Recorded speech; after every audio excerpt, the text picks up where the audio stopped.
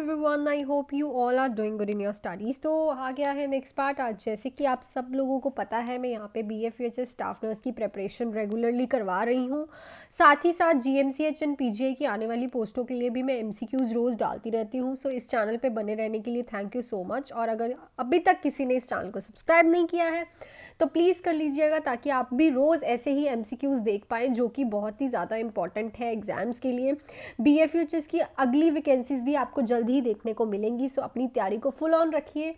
ऐसा नहीं होना है कि मेरा ये पेपर रह जाएगा क्लियर नहीं होगा। अपना हंड्रेड परसेंट दीजिए, सब सब सब बढ़िया करेंगे, भगवान अपनी हार्डवर्क को प्रॉपर रखिए। और अभी भी अगर कोई बच्चा चाहता है कि मुझे इन सतारह अठारह दिन में प्रैक्टिस करनी है, मुझे इन सतारह अठारह दिन में और ज़्यादा एम प्रैक्टिस करनी है तो आप जो है M C batch join join कर सकते हैं। ठीक है, इस नंबर पे कॉल या फिर मैसेज करके एम सी क्यू बैच जो है वो ज्वाइन कर सकते हैं seven double nine seven double nine eight hundred rupees में आपको एम सी क्यूज बैच मिलेगा, जिसमें आपको टेस्ट सीरीज़ भी मिलेंगे, जिसमें आपके रेगुलर टेस्ट होंगे एंड डाउट क्लासेस आपको उसी बैच में मिलेंगी। और अगर किसी को कंप्लीट इंपॉर्टेंट टॉपिक्स भी चाहिए साथ में इंपॉर्टेंट टॉपिक्स की एक्सप्लेनेशन भी चाहिए, जो कि मैंने खुद एक्सप्लेन कर चुके हूँ तो वो बैच चल रहा है ट्रिपल नाइन का।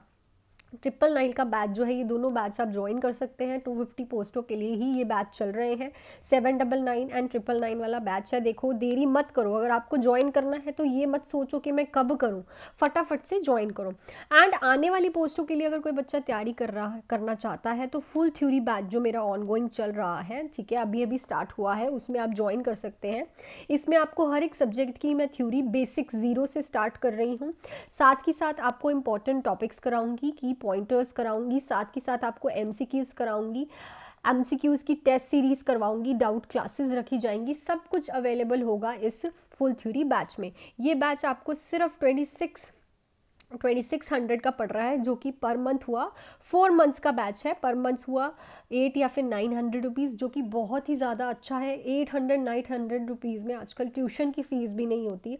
अगर आपको अच्छे से कंटेंट पढ़ना है बेसिक से ज़ीरो से तो आप ज्वाइन कर सकते हैं। कॉन्टैक्ट डिटेल्स आपको डिस्क्रिप्शन बॉक्स में भी मिल जाएँगी, या फिर आप यहाँ भी मैं लिख रही हूँ इस पर कॉल या फिर मैसेज करके आप फटाफट से बैचेस ज्वाइन कर सकते हैं।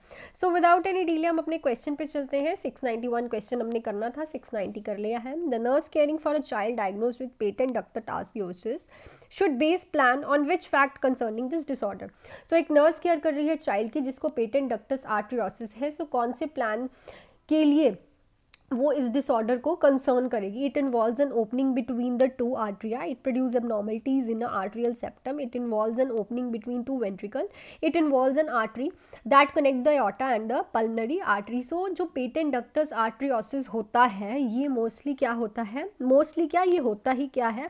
आर्टरी जो कि कनेक्ट करती है एयोटा एंड प्लमनरी आर्टरी को, ये इन्वॉल्व कर लेता है यहाँ पे एक डक्ट बना लेता है, जिसको अब नॉर्मल डक्टस आर्ट्रियोसिस भी बोलते हैं।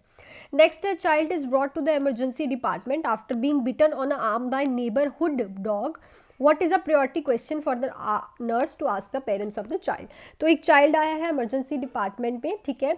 उसको उसके नेबर के डॉग ने नेबरहुड्स के डॉग ने काट लिया है। तो सबसे ज़्यादा प्रियोरिटी में नर्स उसके पेरेंट्स को क्या पूछेगी? How old is the dog does the dog have a history of biting are the child immunisation up to date did the dog have all of its recommended shots so सबसे ज़्यादा priority में होता है आपने पूछना कि बच्चे को इम्यूनाइजेशन प्रॉपरली चल रही है कि नहीं चल रही? Then you will go for other question सबसे पहले अगर किसी को डॉग बाइट हुई है तो इम्यूनाइजेशन का क्वेश्चन सबसे पहले प्रायोरिटी में आता है उनसे पूछने का। नेक्स्ट क्वेश्चन देखते हैं the nurse is assessing a child admitted with the diagnose of rheumatic fever which is a significant question should the nurse ask the child parents during assessment तो एक नर्स असेस कर रही है child को जो कि डायग्नोज हुआ है रिमेटिक फीवर का ठीक है कौन सा ऐसा क्वेश्चन है जो कि नर्स उन पेरेंट्स को पूछेगी उस बच्चे के how has your child had difficulty urinating has your child been expose to anyone with chickenpox has any family member had a sore throat within the past week has any family member has a Disorder in a past week so हम उससे पूछेंगे कि क्योंकि rheumatic fever strepto A beta haemolytic streptococcus so beta haemolytic streptococcus infection से होता है so so किसी का सॉर थ्रॉट होता है। सो so अगर घर में किसी का सॉर थ्रॉट हुआ है सो so उससे बच्चे को रोमैटिक फीवर हो सकता है। सो so सबसे पहले चाइल्ड के पेरेंट्स को हमें ये पूछना होगा। Next, that the parents of the child with mumps express concern that their child will develop orchitis as a result of having mumps. What characteristics of this complication should the nurse discuss with the parents? So parents एक child के concern बता रहे हैं उनका जो बच्चा है अभी उसको और मम्स का बच्चा है वो ठीक है और उससे कंसर्न है कि चाइल्ड को अर्चाइटिस ना हो जाए। किसकी वजह से होता है आपको पता ही है कि मम्स की वजह से अर्चाइटिस उसकी कॉम्प्लिकेशन है।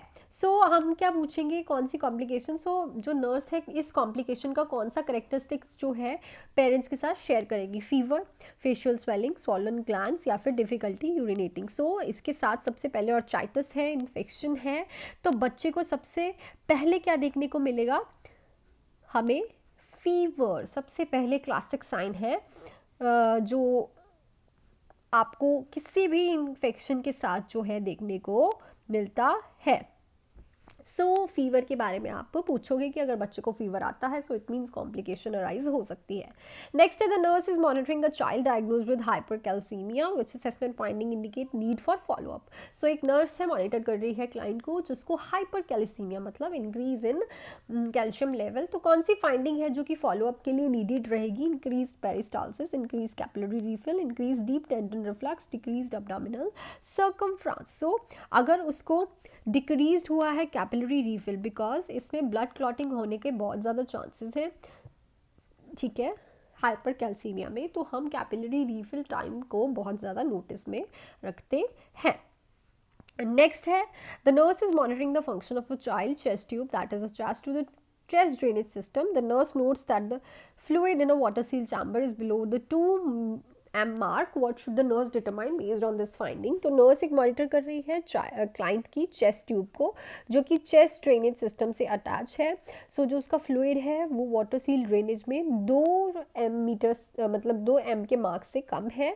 सो so, नर्स क्या डिटरमाइन करेगी? There is a leakage in the system suction should be added to the system this is caused by client pneumothorax water should be added to the chamber so at least उसका जो level है to M तक होना चाहिए to centimetres आएगा यहाँ पे sorry to centimetres तक होना चाहिए। सो so, अगर उससे कम है तो आपको उसमें और वाटर ऐड करना है।